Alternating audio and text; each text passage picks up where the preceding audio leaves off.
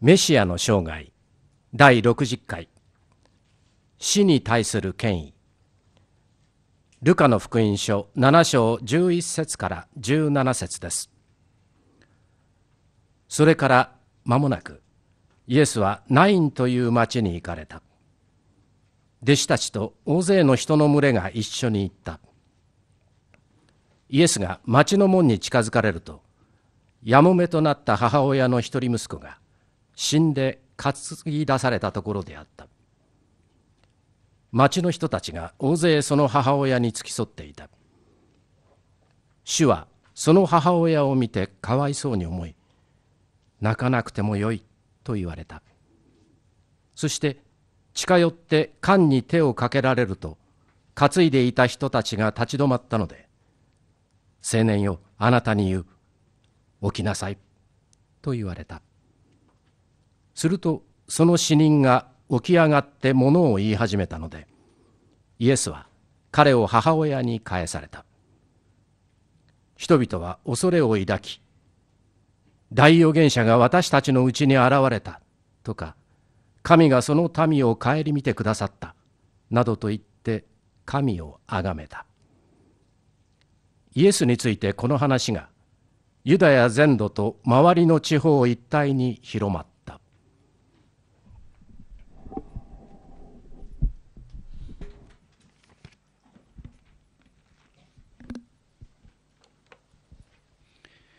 皆さんおはようございます。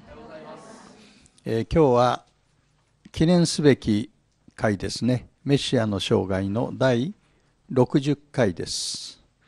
えー、一区切りになりますね。60回やってるということは1年以上もメシアの生涯を追いかけているわけですね。今日のタイトルは死に対する権威。読んでいただきました聖書箇所はルカ7章11節から17節ですね。えー、お葬式に参列するっていうのはいかなる場合でも楽しいことではない。むしろ結婚式に行った方がよっぽど楽しい。まああの結婚式もお葬式も似たような点があるんですね。共に人生の墓場だっていうの。いやそんなことはないんですけども。でも聖書はねあの喜びの家に行くよりはお葬式の家に行った方がいいって人生を学ぶことができる教えてるわけですね。それにしても苦しいもんです。特に苦しいのはまだ死ぬべきでない年齢の人が死んだ場合です。これはもう本当に耐えられないほど辛いことですね。私も何度かそういう経験がありますけれども非常に鮮明に覚えているのはあの20代でお嬢さんが亡くなってその葬儀に行ったことがありました。まあ牧師になってからまだ数年経った頃のことでありました。その時に非常に感激したのは最後お花で飾りますね。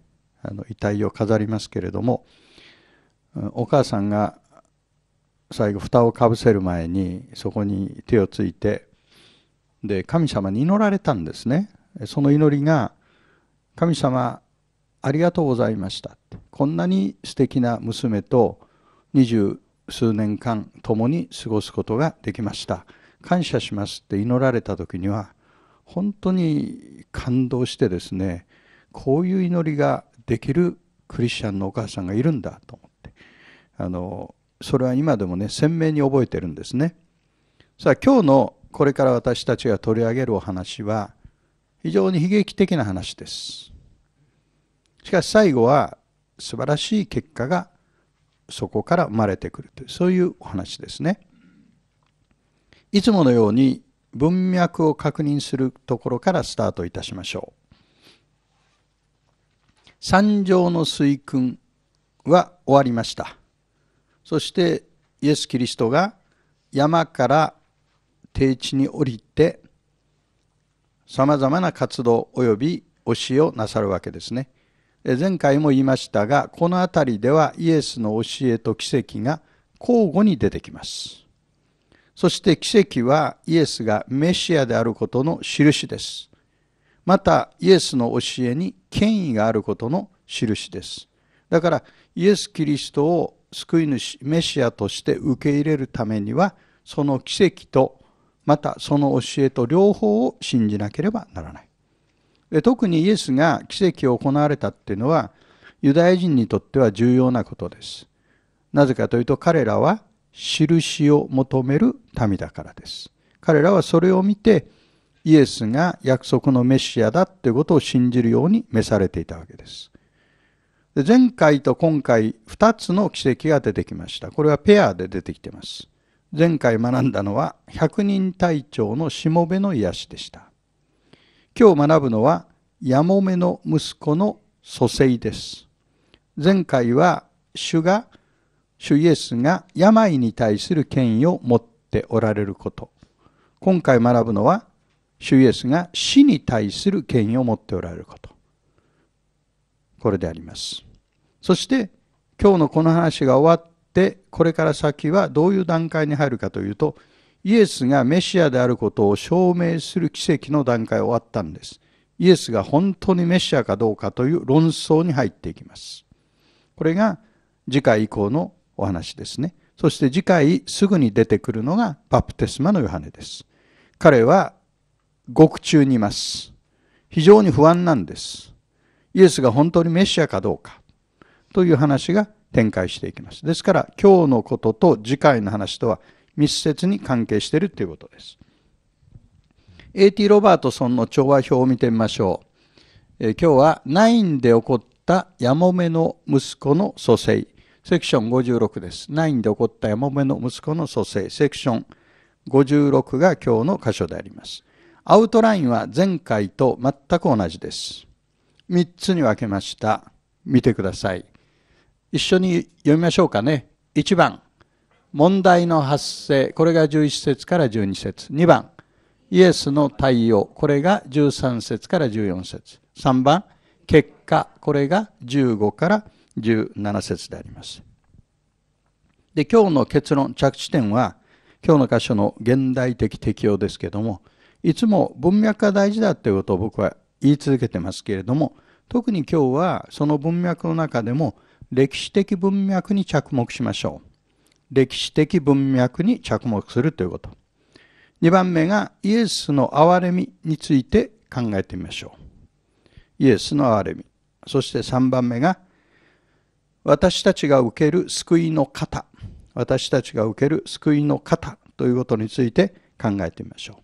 そして今日のメッセージ全体を通して考えようとしているのは私たちが信じているイエス・キリストという方がいかに憐れみに富んだお方であるか。憐れみと権威に富んだお方であるか。これを今日は学ぼうとしています。じゃあアウトライン3つ確認しましょうね。はい1番目。問題の発生。2番目。イエスの対応。3番目。結果。これでいきたいと思います。この間仙台の聖書塾で午後の授業が始まる前にパッと手を挙げた人がいて先生一つお願いがあります何でしょうか？あの儀式をやっていただけないでしょうか？いつも CD で聞いてるんですけど自分で言ってみたいって言うんで分かりましたやりましょうってやったんですけどとても喜んでおられましたでは用意いいですか？はい。Are you ready? Yes, we are. はい。行きましょう。これを言うために恵比寿まで来るという方もいるんです、時々。1番目、問題の発生ですが、11節を見てみましょう。ではご一緒にお読みください。それから間もなく、イエスはナインという町に行かれた。弟子たちと大勢の人の群れが一緒に行った。えー、この話の前にイエスはカペナウムっていうところにおられたんです。カペナウムはガリラヤ湖の北の岸の町です。そこから地図をちょっと思い描いてください。カペナウムから南西の方角、南西に約30キロです。いいですか？だから徒歩で1日前後ですね。それが今日の物語の舞台になるナインという町です。ナインという町は旧約聖書をいくら探しても名前はないんです。名前が出ていません。聖書では今日の箇所だけです。このナインという町は。しかし、発掘が進んでおりまして、非常に栄えた町だっていうのはわかるんです。今もナインという小さな村があります。ユダヤ人の歴史家でヨセフスという方がおりますが、彼の書いている文章を読むと、ガリラヤからエルサレムに登るときに、途中にいくつかの町があるんだけれども、そのうちの一つがナインという町です。ですからイエス様の時代、この町は、あの、人々が旅をするその途中にあった町だっていうことがわかります。だから、イエス様も旅をしておられたんでしょうね。そして、ナインというところに来られたわけです。もう少し地理的情報を皆さんに提供したいと思います。さあ、地図を思い浮かべてください。えー、ガリラヤ湖の西側にナザレという山の村がありますけど、ナザレの南に大きな谷があるんです。あるいは平野です。平原です。それをイズレールの平野、イズレールの谷とかイズレールの平原とか言うんですね。東西に走ってる巨大な穀倉地帯です。あるいは農業地帯です。そのイズレールの谷の中央にあるのがイズレールという町です。そして西側を抑えてるのがカルメル山です。で、そのイズレールという中央の町と、そしてカルメル山がイズレールの谷を抑えてるわけですね。その間にナザレという町が入ってきます。あるいは村。タボル山。聖地旅行行った方は覚えていると思いますが、お椀をひっくり返したの山。タボル山もそこです。そしてメギドっていうのも実はその地域なんです。だから今日舞台になっているナインという町は全てタボル山、ナナザレ、メギド、あるいはカルメル山、イズレール、こういう地区と一つのエリアとみなされる地区です。今ですと、例えばタボル山からナインまで車で行くと、まあ、山降りてくねくね曲がってますから、約1時間、1時間弱で行けます。聖地旅行では、たびたびナインのそばを通ることがあります。ある時、私が、あの、まあ、わざわざナインで車を止めて説明をするっていうことは、あまりしないですね。というのは、そういうふうにしても、あの、実感が湧かないからね、重要性は低い町。ただ、バスで移動するときは、ここがないんだよっていうことを言うわけですね。そしたら、ある時、バスの運転手のヨッシーさんが、私のを向いて、ないんで何が起こったんだ？新約聖書ではどう書いてあるんだと聞いてきたんです。で、そこで、これはしめしめと思って、ないんで起こったことを彼に話をしました。でなぜ彼がその質問したかっていうことは、今日の結論のところで結びつけてお話をしようと思いますから、ヨッシーさんがないんで何が起こったんだと質問したってことはどっかに覚えておいてください。そして、イエスの一行が行列を作ってこの町に入ってきたわけです。先頭にイエスがいるんです。次に弟子たちがいるんです。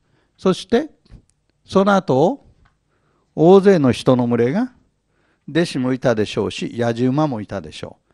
とにかく行列を作ってナインの町にやってきたわけです。さあ皆さんイメージしてください。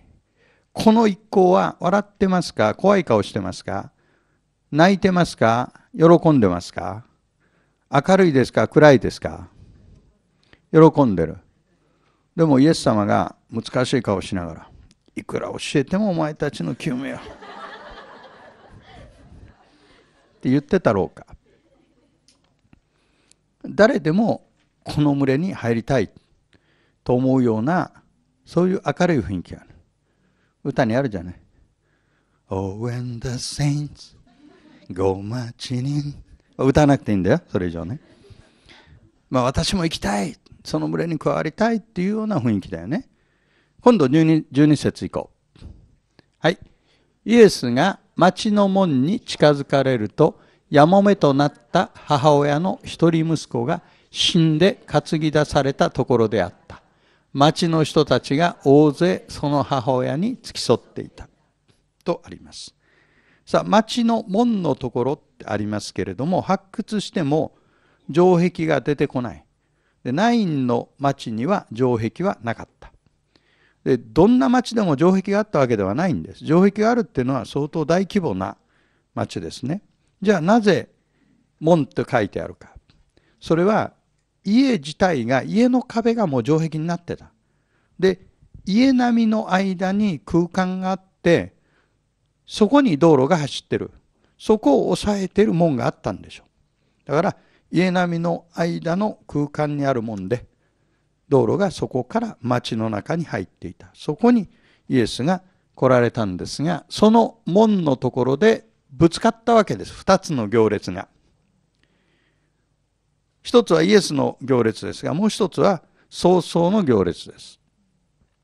お葬式の行列でなぜ町から外に出ようとしてるかっていうとお墓は町の中にはないんです。町の外の洞窟にあるんです。だからこのナインの近辺は洞窟が無数にあります。なぜ町の中に墓がないと思う汚れるからそう。それに触れると汚れが来るという儀式的汚れ。これがユダヤ人の考え方ですね。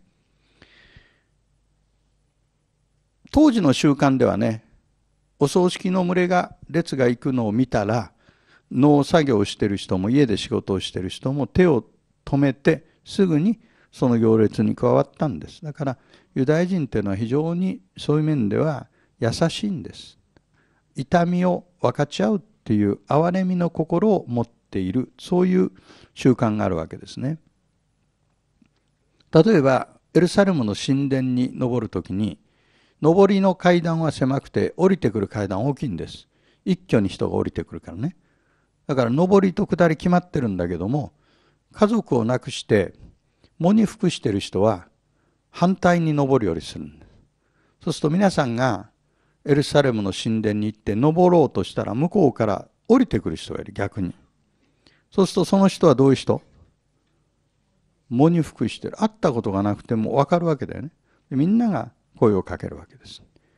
ね、主の慰めがありますようにそういう優しさを持っているのがユダヤ人です。そうやって多くの人々がついてきてたっていうのは当時の習慣からも理解できるわけですが一般的にお葬式っていうのは悲しいもんだけどこの場合は特に悲劇的です。よくテキストを読むとわかるね。なぜ悲劇的か。なぜ悲劇的？死んだのが一人息子。そして親はやもめ。やもめったらどういう人のこと言うの？夫が亡くなった女性のことをやもめという。彼女の生活の維持は息子によってかろうじてなされてるわけ。ところが息子は死んだんです。でこのテキストを見る限り彼女には男性の親族がいるようには読めない。ということは一人息子に死なれたやもめは当時の習慣から言うと周りの人々のあるいは共同体の事前に頼るしかないんです。で皆さんはあるいは私も含めて違法人クリスチャンはあまり意識がないんだけどやもめの保護っていうのは旧約聖書新約聖書ともに非常に重要なテーマです。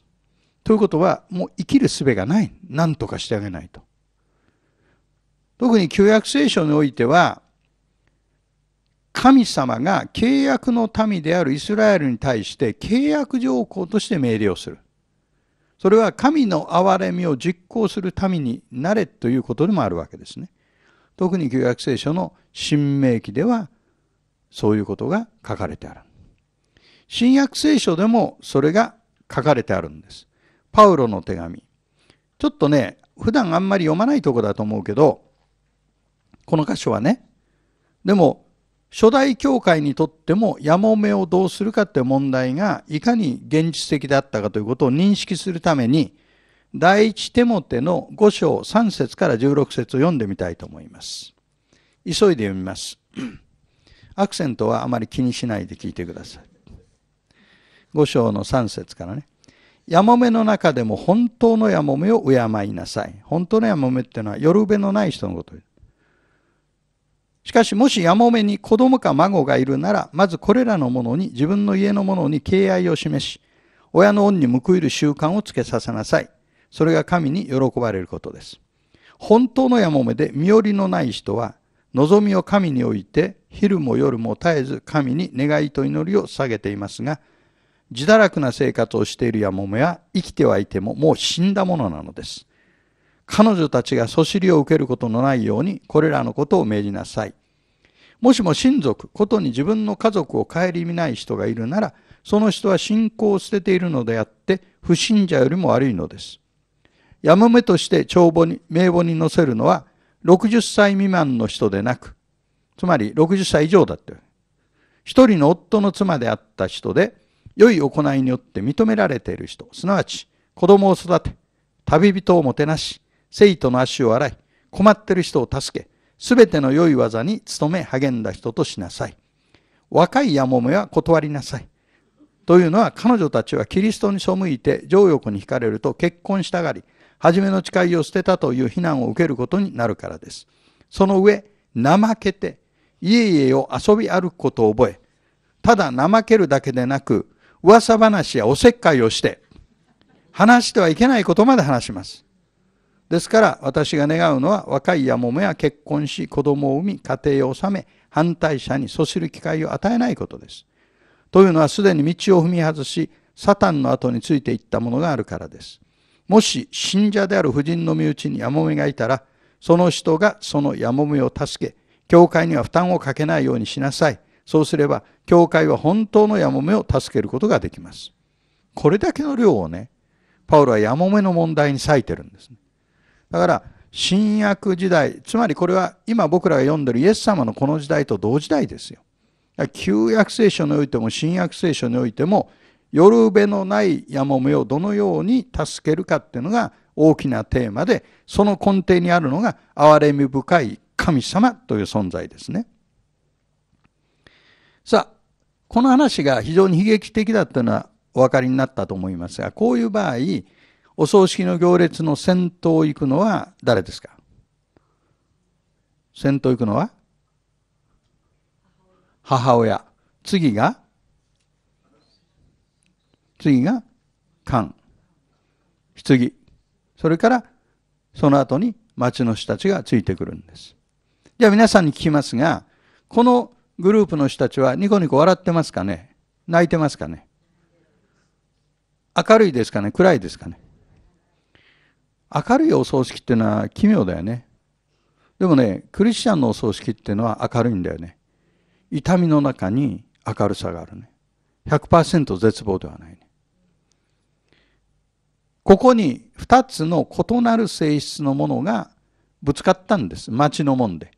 片や町の中に入ろうとしている。片や町の外に出ようとしている。これがぶつかったんです。これは悲しみと喜びのぶつかり合いです。これは汚れと清さのぶつかり合いです。これは死と命のぶつかり合いです。私たちにとって興味深いのはどっちが勝つかです。これからいずれが勝つか見てみよう。というのが次のポイントです。2番目、イエスの対応です。13節見てみましょう。なんて書いてあるか。ご一緒に。はい。主はその母親を見てかわいそうに思い、泣かなくてもよいと言われた。当時のユダヤ人の哲学者たちは、あるいはラビたちは、こういうケース、どういうふうに言ったかっていうと、泣いてはいけません。泣いても何も良いことはないんです。言って泣くのをやめさせたんです。お母さん、泣くのやめなさい。いくら泣いてもあなたの身に何か良いことが起こるわけじゃないんだから。というのが当時のユダヤ人の哲学者たちの慰め方です。イエス様はそうではないね。何て言われた？泣かなくても良い。なぜかというとイエスの場合は表面的に慰めるんではなくてこれから悲しみの原因を取り去ろうとしている。イエスはこれから解決を与えようとしておられる。なぜ解決を与えるかというと、イエスの憐れみです。ここで翻訳を比べてみましょう。新海訳、ご一緒に。はい。主はその母親を見てかわいそうに思い。新共同訳、主はこの母親を見て哀れに思い。口語訳、主はこの婦人を見て深い同情心を寄せられ、深い同情を寄せられ。はい。リビングバイブル。痛々しい母親の姿を見てかわいそうに思ったイエスはと訳されていますどの訳が好きですか？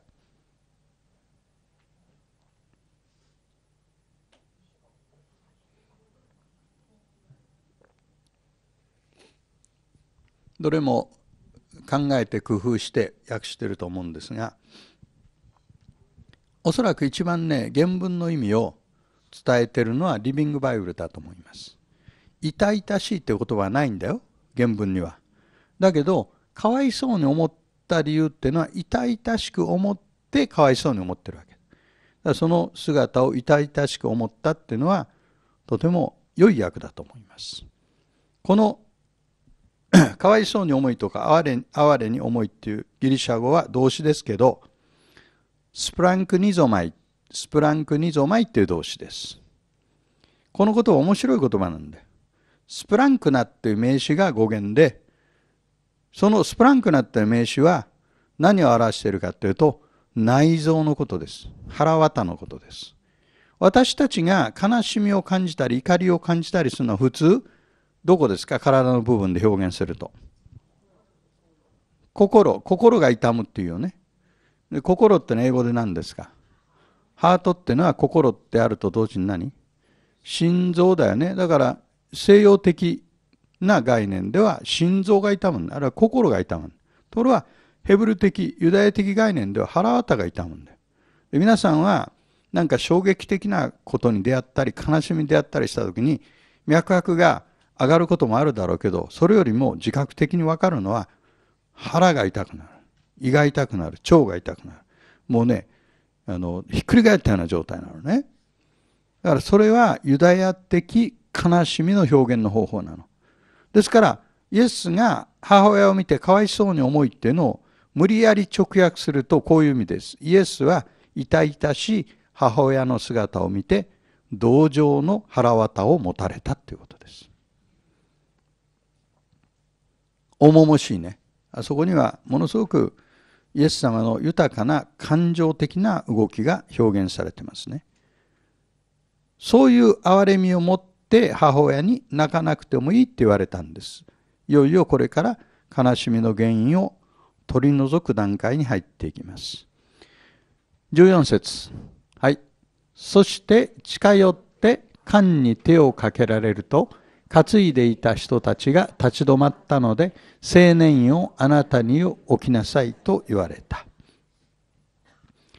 早々の列を妨害したり止めたりするのは立法違反です。ここでイエスは立法違反を犯しています。ところが通常は棺を、缶を担いでる人たちはそれを排除していくはずなんだけど、ここでは立ち止まってます。なぜ立ち止まったのか考えられる理由はイエスに対するある程度の信仰を持っていたのか。あるいは私はこの2番目の考えのが好きだけど、イエスの権威に圧倒されたかいずれかです。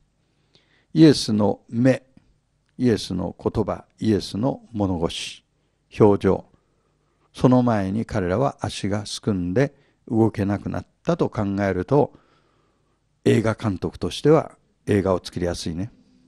場面が浮かびますか、目に。そして次にイエスは何をされてますか？近寄って缶に手をかけられた。で、日本語では缶ですよね。あの字ね、奇変に缶だよね。あの缶っていう字はどうしてもね、塞がっているこう長方形の四角形のもの、あるいは丸型でもいいんだけど、そういうものを思い出すんだけど、だけど、この漢字が伝えているニュアンスではないんです。当時は、この時代のユダヤ人たちはまだ、あの、封印するような棺桶は使ってない。一枚の板です。一枚の板の上に死体を乗せて運んでるんです。で当時のパレスチナの習慣では死ぬと直ちに死体を洗ってそして布でくるんで埋葬に入ります。そうしないと腐敗して臭くなるから。だからこの青年は死んでまださほど時間が経っていない。そういう状態で一枚の板に乗せて運び出されてきてるんです。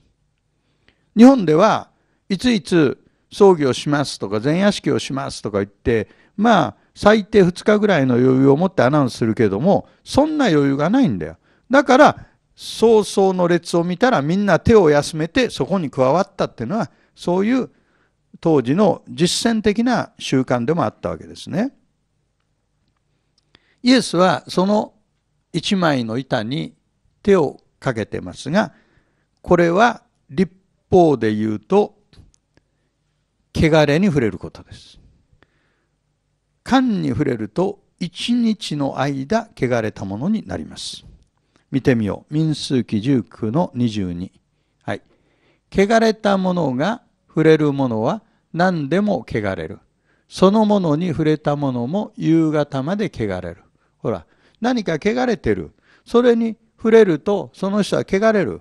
あんた何やってんの？ポーンって触る。その人も汚れる。なんか汚れが伝染していくわけだよね。これは儀式的な汚れのこと。一日汚れる。だから、ここでは、モーセの立法によれば、イエスは一日汚れてます。イエスは死体に触れたんだろうか？触れてないだろうか？ここではね、触れたと書いてないね。触れてない。で、触れてないって言葉だけで奇跡が起こるわけだから、触れないことにも意味があるわけ、実はね、ここはね。もしイエスが死体に触れていたとしたら、7日間汚れたものになります。民数記19の11。はい。どのような人の死体にでも触れるものは7日間汚れる。だから、肝に触れたら1日、死体に触れていたら7日間汚れるわけです。そういうわけで、通常は死体に触れるのはユダヤ教では家族だけです。いいですか？そして死体に触れることはユダヤ教の汚れの中では最も強い汚れとなります。汚れが汚れていない人に影響を与えるわけです。ところが、イエスの場合は不思議だよね。イエスが缶に手を触れてその汚れがイエスに移ったと思う流れが逆なんだよイエスの清さとイエスの命とイエスの光が逆に向こう側に流れていくんだよこれがイエス様の実態だよね。だから次にイエス様は言葉でこう言われたんです。青年よあなたに言う起きなさいという言葉ですね。この青年よという言葉だけど青年って何歳ぐらいだろうね。皆さんのイメージだと？二十歳。を見てきたようなこと。二十歳ぐらいか。この言葉はねネアニスコスという言葉なんだけどネアニスコスギリシャ語の辞典見るとね幅広く使う言葉でだいたい40ぐらいまではね青年よって言っていいのこの言葉。うん、だから僕ら二十歳ぐらいとか15ぐらいと思うかもしれない。そうかもしれない。でも3 5 6でも青年よって言ってもいい言葉なんだ。から母親が彼に生活を依存していたという意味がさらに広がってくるよね。イエス様はここで青年よと声をかけましたここで素晴らしいのは言葉を発するだけです言葉を発するだけで死に勝利されるんです。ちょうど天地創造の時に真っ暗闇が支配していたところに言葉で光をあれと言われた時に光があった。この状態がここで起こってるんだ。イエスは言葉で暗闇に光を作った方です。イエスは言葉で死を命に変えることができたお方です。イエスの言葉には創造主の力と権威がある。このことがここで表現されましたイエス様は今日私たちにも同じ力と権威を持って語っておられるのではありませんか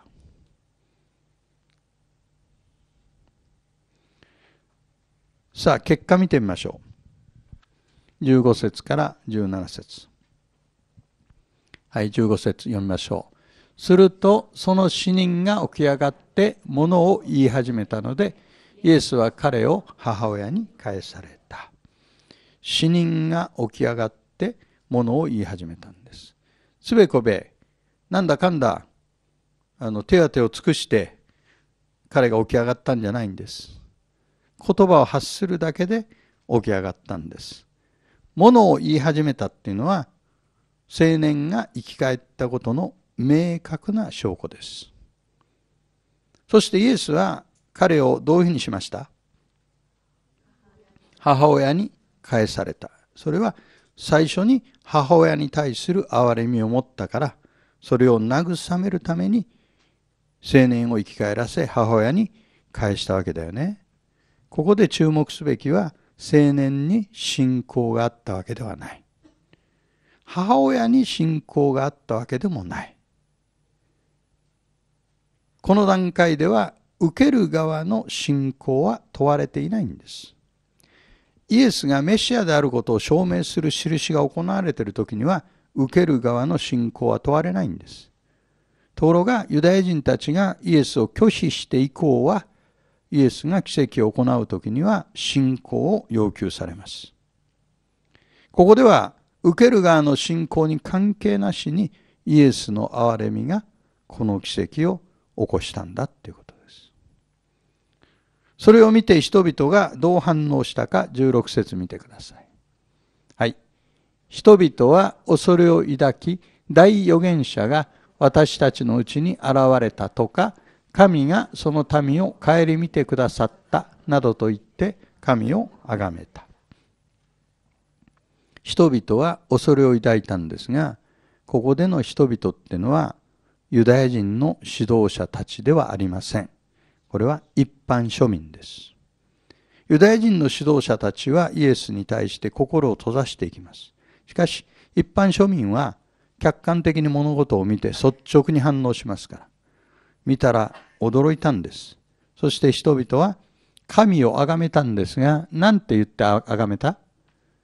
大預言者が私たちのうちに現れた。大預言者っていうと、彼らがイメージしたのは、旧約の預言者のエリア、およびエリシャです。そして彼らは、神がその民を顧みてくださったと言いました。確かにその通りですが、彼らが理解しなかったのはイエスというお方は神ご自身が来てくださったお方だ。神がエリアやエリシャのような預言者を送ってこのことをしてくださったんじゃなくて神ご自身が人の姿をとって来てくださったというところまでは彼らは理解することはできなかった。そして17節見てみましょう。はい。イエスについてこの話がユダヤ全土と周りの地方一帯に広まった。こういう噂ってのはすぐに広がってきます。そしていよいよ次回取り上げるバプテスマのヨハネの話につながっていくわけですね。ヨハネがイエスについて質問をした時にイエスはこの奇跡を取り上げてヨハネに応答されますよ。さあ、では結論に行きましょう。まず結論の一番目ね。文脈を意識する。特に歴史的文脈に注目しましょうという話をしました。このメッセージの冒頭で地理的情報をだいぶ皆さんに詳しく説明しました。そしてバスの運転手のヨッシーさんが9で何が起こったんだ？っていうふうに質問した。新約には何と書いてあるかと聞いてきた。というのは新約は読まないからねユダヤ人は。興味があったわけですね。で、地理的情報から言うと、今私たちがしばらくの間立ち止まっていた、とどまっていたナインという町は、旧約聖書の預言者エリアの活動場所に入ります。すっぽり入ります。エリアというのは、北王国のアハブという王様の時代に活躍した預言者で、バールの預言者たちがイゼベルによって思い通りしたい放題にしていた時代の誠の預言者です。彼の活動地はイズレールであり、またカルメル山です。カルメル山で何をしました彼は。バールのバールの預言者と何何人相手は？ええ49人450人のバールの預言者と戦って勝利したあれがカルメルさんですあの言葉で言わないとね手でこうやっててもね分かんないからねあのカルメル山は旧約の預言者エリアが活動した山ですアハブ王はイズレールという町に宮殿を持っていた。まあ、避暑地でしょうね。そこにエリアも行ってます。だから、このナインという町はまさにエリアが動き回っていたエリアです。エリシャが活動した場所もここです。特にエリシャはシュネムという町に留まっていたことがある。シュネム、カルメル山もエリシャの活動場所です。シュネムっていうのはナインのすぐそばです。だからこの地方の人たちは自分たちの歴史的記憶としてエリアとかエリシャとかいう大預言者が活動した地だという認識を持ってる。でバスの運転手のヨッシーさんがナインで何が起こったって聞いた時に彼も旧約聖書のそういう地理的認識を持ってる。つまりこれは民族の記憶なんだよ。そこにイエスが現れて奇跡を行われたということ。だからこれは単に私たちが読んで死者をよみがえらせたというようなものではなくて歴史的文脈で読むともっともっと衝撃的な記録だったということが分かってくる。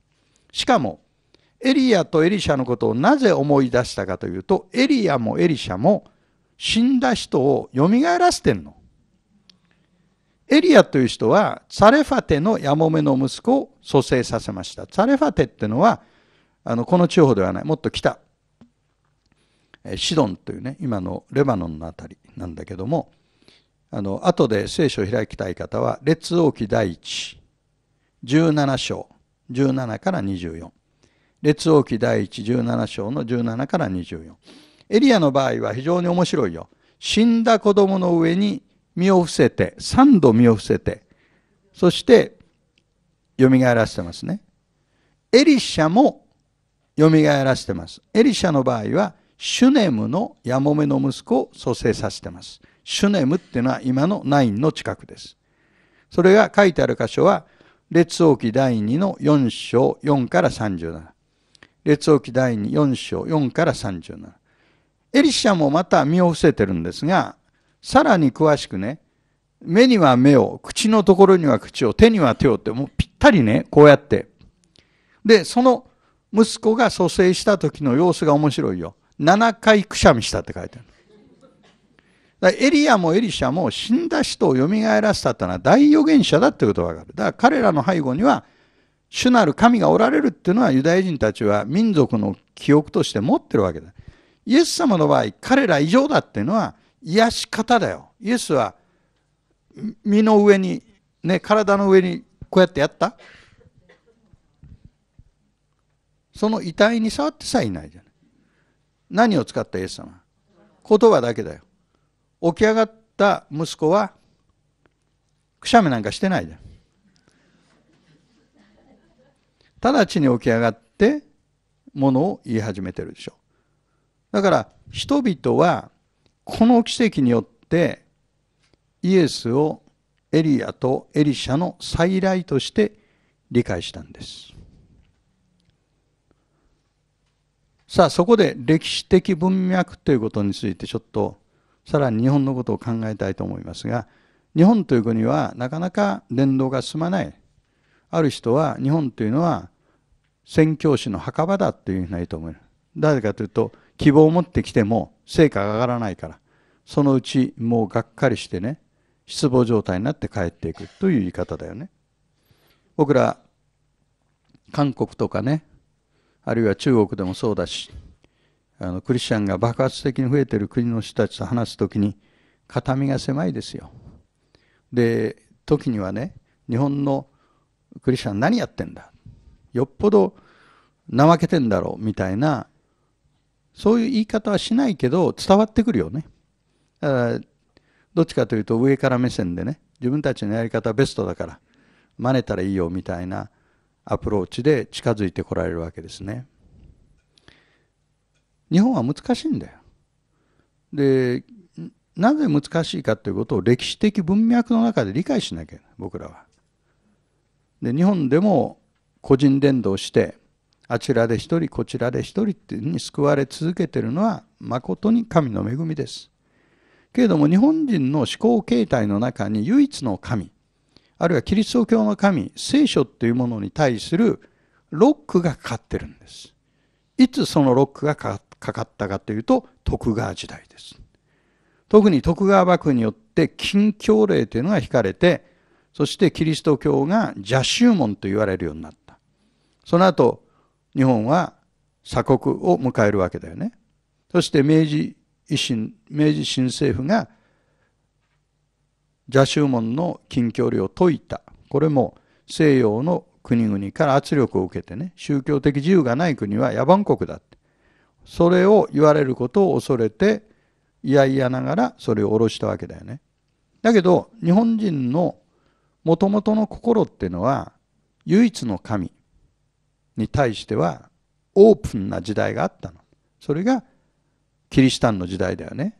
まあ、あの時代はカトリックの宣教師が来たから、厳密には私たちと同じではないけど、だけど、多く言う人だと、当時の日本の人口の1割ぐらいは信者になったはずだ。というふうに言われてるわけね。なぜかって。それは日本人の精神性が邪宗門の規定ができる前とできて以降は大きく変わったんだよ。それが出来上がるまでに250年300年かかったとするならばそれを解きほぐしていく作業にも相当な時間がかかるんだということを覚えなきゃいけないそして一番ヒントになるのはそういう歴史的文脈を理解したならば私たちはあの16世紀17世紀の頭ぐらいまであの時代の日本人の精神性っていうのを掘り起こす作業をした方がいいそして400年前って十分もう古いからね、十分歴史になってるから。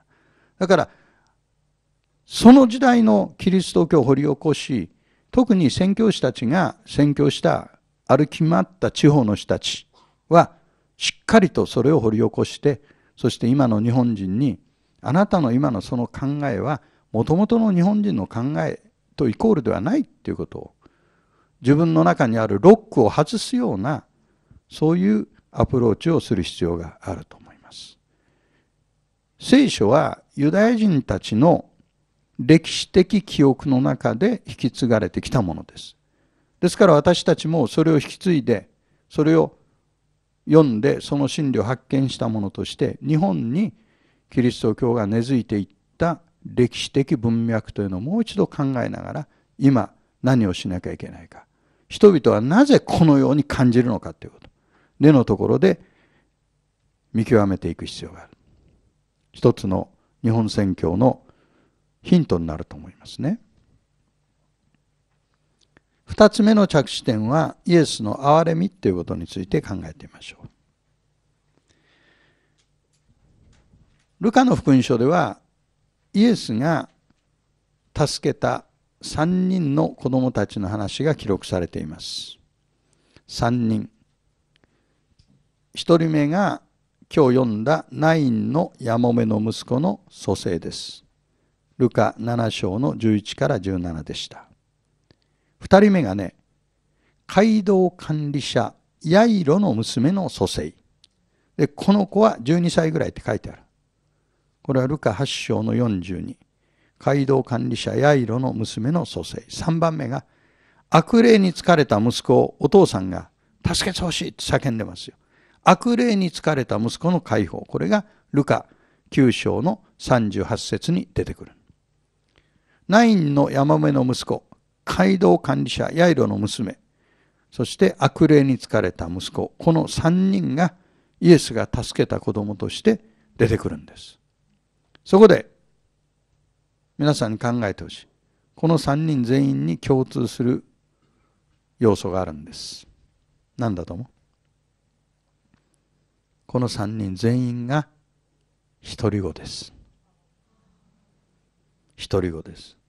私は今回このメッセージを用意しながら、そうだよな。ナインのやもめの息子ってのは独り子なんだよ。ヤイロの娘ってのは独り子なんだよ。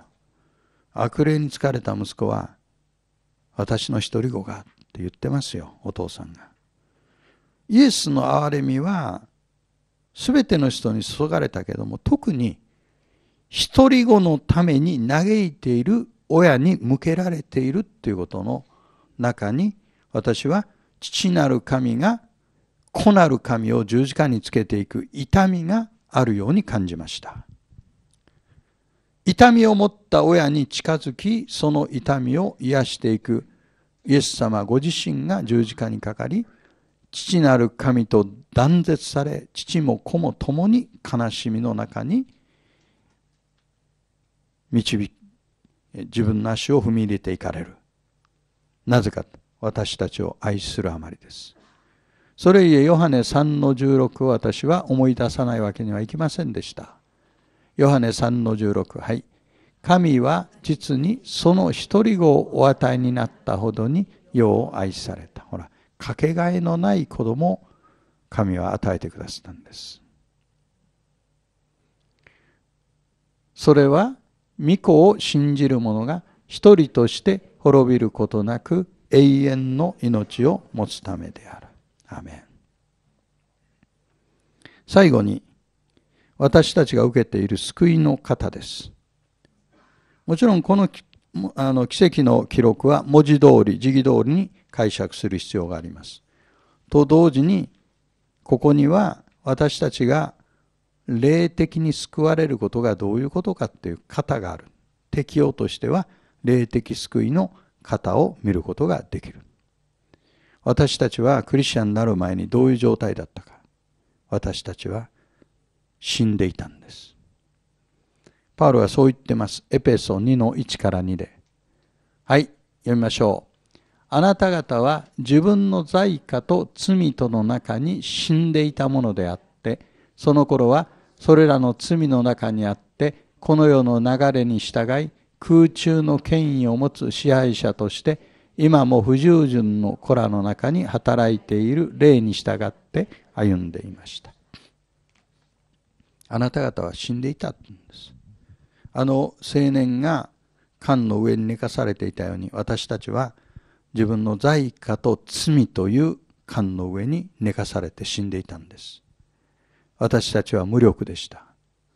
私たちは助けを求めることさえできなかったんです。ところが神はイエスを送り私たちを救ってくださった。この青年と同じことが私たちに起こったんです。エペソ2章の4から9を見てみましょう。はい。しかし、憐れみ豊かな神は私たちを愛してくださったその大きな愛のゆえに在家の中に死んでいたこの私たちをキリストと共に生かし、あなた方が救われたのはただ恵みによるのです。キリストイエスにおいて共によみがえらせ、共に天のところに座らせてくださいました。それは後に来る世々において、この優れて豊かな御恵みをキリストイエスにおいて私たちに賜る慈愛によって明らかにお示しになるためでした。あなた方は恵みのゆえに信仰によって救われたのです。それは自分自身から出たことではなく、神からの賜物です。行いによるのではありません。誰も誇ることがないためです。ちょっと考えてください。この生き返った青年は、その後どういう生涯を送ったのかなって考えたことある？間違いなくね、多くの人が彼のところを訪ねてきて、彼の話を聞きたいと思ったはずだよ。きっとね、失礼な人はこうやって覗いて、おお、生きてる生きてる。そうじゃない、だって。そうじゃない。その時この青年はね、胸を張ってね、私がね、素晴らしい人間だからね、こうなったんだって言ったと思う俺死んでたんだよ。気がついたら生きてたんだよね。僕は何もしなかったよ。イエス・キリストという方イエスという方が、ナザレのイエスという方が、僕にこれをしてくれたんだよって。彼は自分の話ではなくて、ナザレのイエスの話をしたはずだよ。そこに、霊的によみがえった私たちがいかに生きるべきかという目標があるね。パウロはここで私たちが救われた理由は何かという。この後で私たちは神の作品だ。あなた方は神の作品だ。良い行いをするためにキリストイエスにあって作られたんだと彼は言っておりますね。なかなか抽象的にはイメージしにくいと思う。しかし、缶の上に寝ていた死体になっていた青年が起き上がり、ものを言い始め、人々に神の力と憐れみと証ししたというその生き方の中に私の手本を見出すことができるならば幸いです。神様は今日私たちの一番問題である棺に缶に手を置いてらっしゃいますね。あなたの問題は何ですか？あなたの束縛されてるテーマは何ですか？そこに手を置いて青年よって。青年でない人にもね。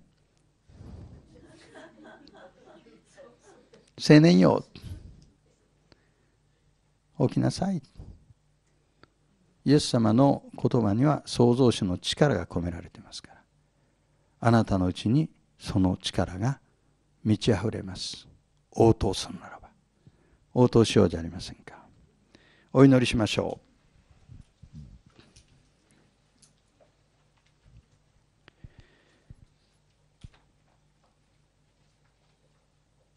天の父なる神様私が寝かされていた棺にあなたは手を置いてくださいました。そして青年よ起きなさいと声をかけてくださいました。信仰と恵みによって私たちは霊的に復活しました。感謝をいたします。その目的は神の恵みと栄養とを称えるためであります。どうか私の生涯が神の皆を称える歩みとなりますように。